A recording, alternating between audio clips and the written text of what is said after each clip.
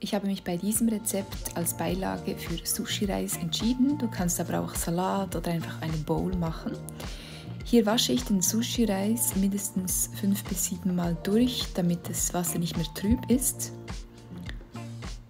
Und dann koche ich ihn einfach im Reiskocher. Das Rezept dazu findest du auch in meinen Rezepten. Dann schneide ich den Tofu, 250 Gramm Tofu, in kleine Stücke und brate das Ganze in einem Esslöffel Kokosöl an. Danach stelle ich den Tofu auf die Seite. Ich erhitze die Pfanne mit zwei Esslöffel Kokosöl und gebe dann die Knoblauchzehe hinzu. Nach dem Knoblauch füge ich die Tapioca-Stärke hinzu, ein Teelöffel.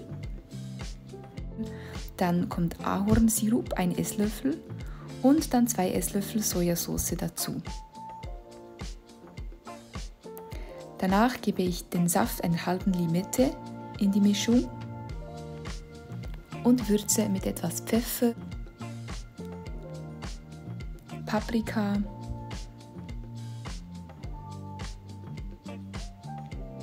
ein paar Chiliflocken und ganz wenig Salz.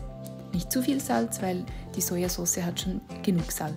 Danach gebe ich den Tofu hinzu und mische das Ganze, bis es karamellisiert. Dann richte ich das Teller an mit etwas Reis, dem Tofu, einer Limette und etwas Sesamsamen.